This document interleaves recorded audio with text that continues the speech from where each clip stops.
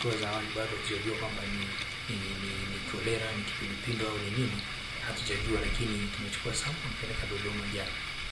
Akizungumza na kamera ya Mahasin TV, mganga mfawidhi wa hospitali ya wilaya ya Kiteto mkoani Manyara, Pasco Mbota, amesema mtu mmoja amepoteza maisha na wengine kumi na sita wamelazwa hospitali ya wilaya ya Kiteto kwa ugonjwa wa kuharisha na kutapika. Amesema jitihada zilizofanyika ni kutengwa kwa watu hao, kuanza kupatiwa huduma sambamba na vipimo kupelekwa hospitali ya rufaa Dodoma ili kubaini ugonjwa huo ambao kwa sasa umekuwa tishio. Akifafanua zaidi, Dr. Pasco anasema wilaya ya Kiteto inakabiliwa na tatizo la maji safi na salama kama anavyoeleza. Yaani maji ni changamoto, kwanza maji hawana.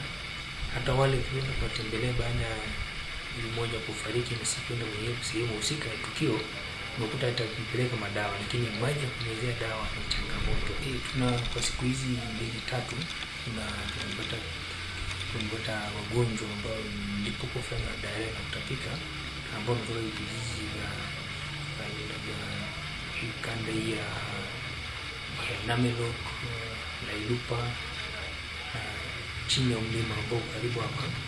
Kwa hiyo zimetoka kesi nyingi ambayo hii sasa sana sana inahusisha wale watu ambao wako kwenye makambi ya mashamba, watu wanaandaa mashamba kule, hawana nyumba, wanakaa kwenye vijemba kidogo tu na wala vyoo. Kwa hiyo imetokea kwenye ukanda wa mashamba huko. Hivi karibuni wananchi wa kijiji cha Nameloko wilayani Kiteto mkoani Manyara waliomba serikali kutoa elimu ya afya na usafi wa mazingira kutokana na hofu ya kuibuka homa ya matumbo kwa kutokuwa na elimu hiyo. Japokuwa tunaingia wote na ng'ombe, watu wanaogea, lakini Mungu anasaidia. Haya maji ni mazuri. uweke ulinzi, maana hili bwana utasaidia watu wote, Japanda, Matuye, Mseo, wapi, watu wanategemea maji yao.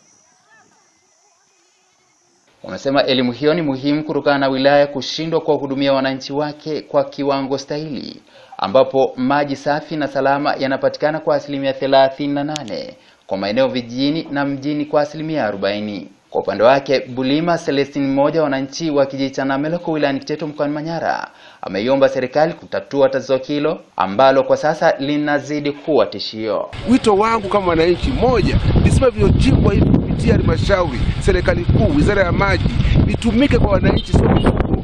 Mifugo ina sehemu yake ya madampo ya kunywesha maji, lakini matokeo yake serikali ya kijiji kuelekea serikali kuu wamekaa kimya kwa hilo.